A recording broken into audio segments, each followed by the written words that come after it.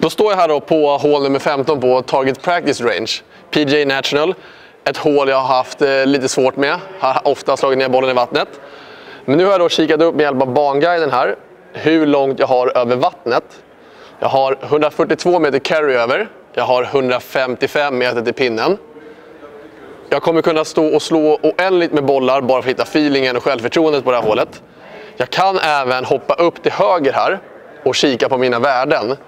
Åtta stycken kommer vi alltid kunna se medan vi står och tränar. Skulle vi vilja se fler värden, då klickar vi på siffrorna och så dyker massa mer upp.